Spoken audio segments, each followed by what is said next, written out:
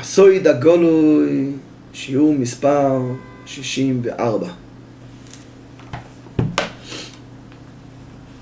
רבי יוסף חיים מבגדד, הבן איש חי,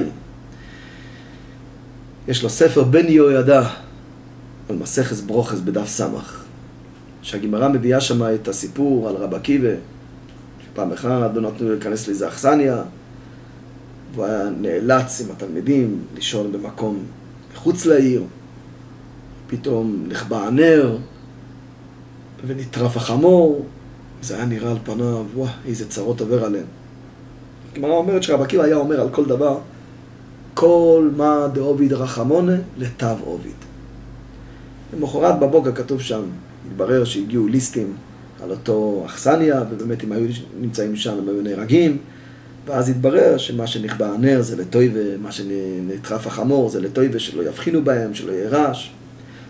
הגמרא אומרת שם שרב עקיבא באמת אמר את זה לתלמידים שלו למחרת בבוקר. אתם רואים? כל מה דאוביד רחמון לטב עוביד אמרתי לכם אתמול. שואל הבן איש חי, לכוירא, למה גמרא צריכה להגיד שרב עקיבא אמר את זה לתלמידים שלו? אתם רואים שאתמול בבוקר, אתמול אמרתי לכם כל מה דוד רחמון לטב עוביד ועכשיו התברר שאני צדקתי. מה, יש איזה ויכוח ביניהם? הוא צריך להוכיח להם שהוא צדק. אומר הבן איש חי, לא, לא, לא, יש פה הסבר אחר לגמרי למה רב עקיבא אומר את הדברים האלה עוד פעם ועוד פעם. הוא בא ואומר לתלמידים, תשמעו טוב, אני בא ללמד אתכם יסוד בהנהגה. האדם שהוא פותח את הפה שלו לדבר רק דברים טובים, אפילו אם נגזר עליו גזירה רעה, יכול להיות שזה יתבטל בכוח זה שהוא מדבר דיבורים טובים בפה שלו. לכן הוא אמר להם, אתם רואים, אתמול עבר, עבר עלינו דברים קשים, דברים רעים, היינו בסכנה. אבל על כל דבר ודבר אמרתי לכם כל מה דוד רחמונו לתאבובית. זה מה שגרם שהישועה תבוא. כי הפתחון פה הזה שאמרתי לכם בהתחלה, שזה יהיה לטובה, זה באמת גרם שהדבר הקשה יתהפך להיות לטובה. זה לא סתם קרה, זה לא התברר שצדקתי.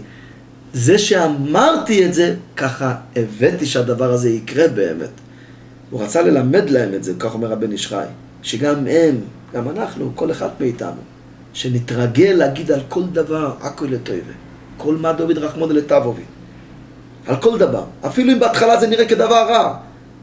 כי בכוח זה שאתם תגידו הכל לטובה, אפילו אם באמת אתה נמצא במקום סכנה, אתה נמצא בסיטואציה לא פשוטה, אבל בזה שאתה אומר הכל לטובה, זאת אומרת, אתה מאמין שהקדוש ברוך הוא ברא את כל העולם, הוא מנהיג את כל העולם, והוא הכל יכול, והוא רחמון, ואתה יכול לסמוך על רחמיו וחסדיו. ומתוך האמונה והביטוחן הזה אתה אומר, בואי נשמע, אני מאמין שהכל לטובה. ואתה יכול לסבב שאני אראה גם כן את הטובה בעיניים שלי. בזה אתה גורם באמת שהדבר הרע יתהפך לטוב. כבר ראינו פעם שהמהר"ל מפראג, על הגימור הזאת, אומר כמעט אותם דברים שהבן איש אומר כאן, שזה לימוד. כמה שיותר להתרגל, לחשוב טוב, ולא רק לחשוב טוב, רק להוציא את זה בפה עם מחשבות טובות ודיבורים טובים, אנחנו באמת נחיה חיים טובים ומאושרים וננצל מכל סכנה.